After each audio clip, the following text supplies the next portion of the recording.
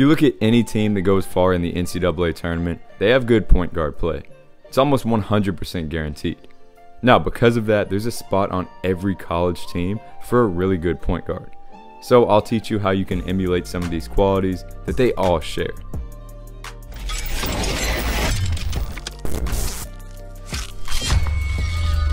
Number one is great pace, which I define overall as the ability to change speeds fluidly, deceptively, and within the context of the game. So under that, I think of there being micro pace and macro pace.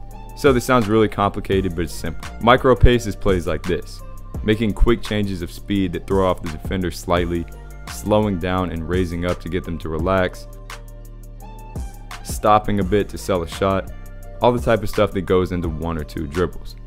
And then we have macro pace, which is the overall speed these guys play at.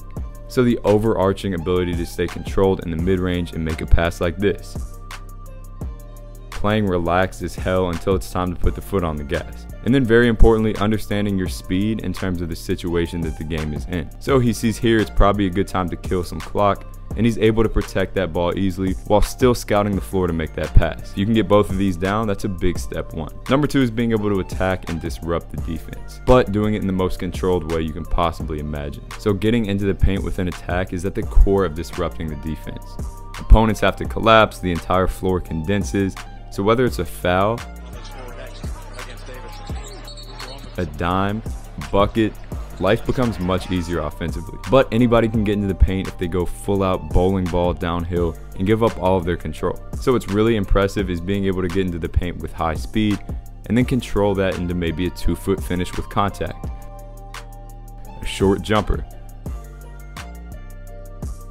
A floater or two from mad far out. A step through.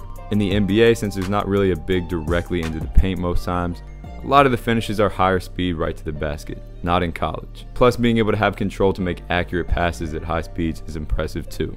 Number three is defense. Let's make this clear. If you can't defend other really good point guards, it's going to be tough to play at that level. Good thing is, it's more than possible to become a better defender through training. Now, I'm not going to go into crazy detail on it because I put out a ton of content recently and even an entire program, but here are a few big areas of focus.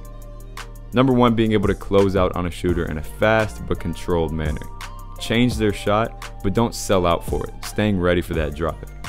Number two, if you do get beat, being able to recover and get back into that play. All great defenders get beat. How they recover is truly what makes them great many times.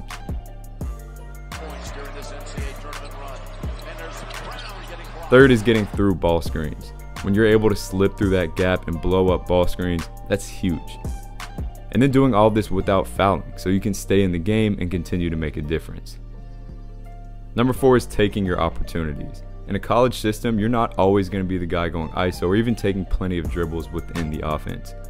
Even as a point guard, you'll likely be initiating the offense, letting the ball go, and then being a moving piece until it comes back to you. So if you can catch off of a closeout situation, you've got to be ready to kill that.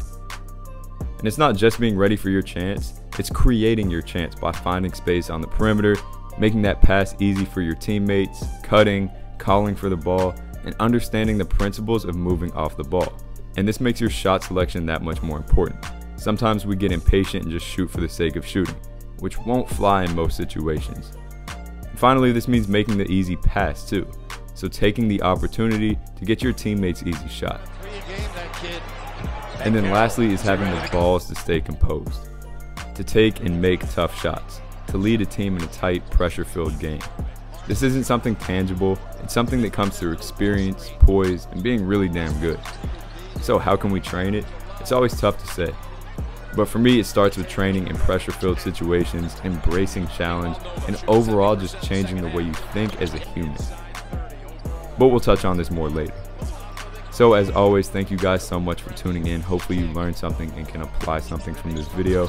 Make sure to follow me on Instagram at By Any Means Basketball for a lot more like this